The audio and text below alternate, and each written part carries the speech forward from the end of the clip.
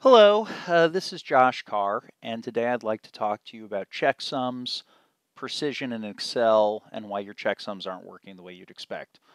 Also, before I get started, uh, if you do enjoy this sort of content, I do teach classes on Excel for real estate analysis. You can attend in person in New York City or over Zoom, depending on your preference.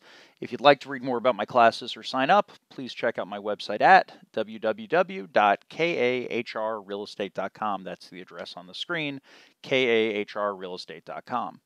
Cool. Okay. Well, with that little shameless plug out of the way, let's get into it.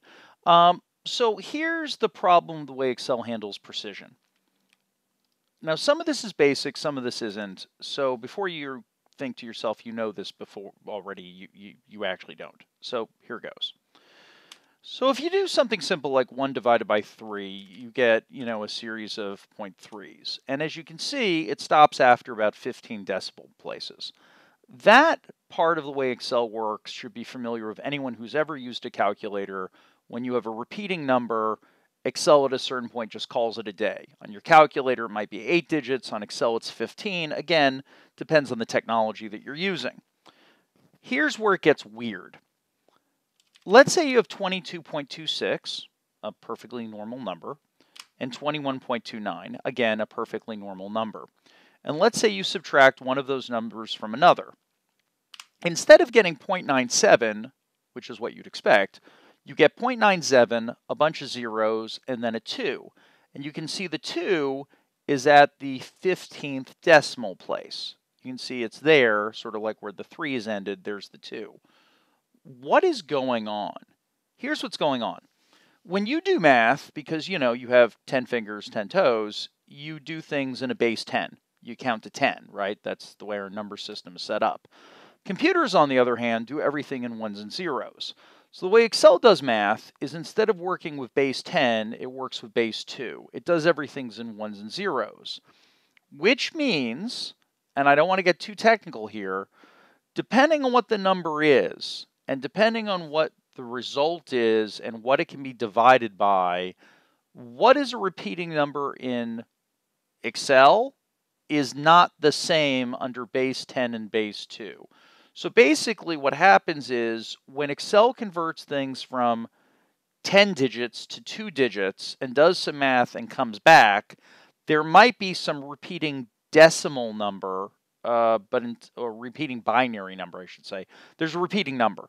The net result of this is sometimes when you have a perfectly normal number minus another perfectly normal number, you get a repeating number because Excel has to convert things from 10 digits to two digits, back to 10 digits again.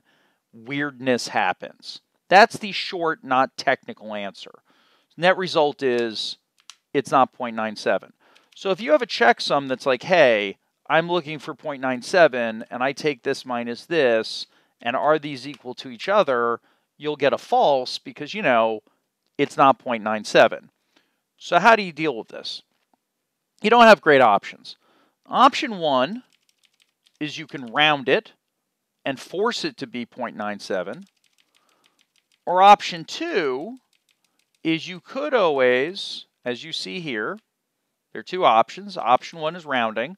The other option is you could go to Excel options and there's this checkbox here that you could check called set precision is displayed. In other words, if all we can view on the screen is 0.97, force it to act like it's 0.97.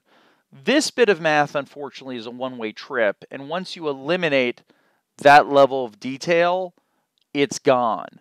Um, so, yeah, that's precision issues. Uh, Excel is not working the way you'd expect, basically because, short answer, um, you know, it's doing everything in binary and ones and zeros, and then when it converts it back to like 10 digits, weird stuff happens.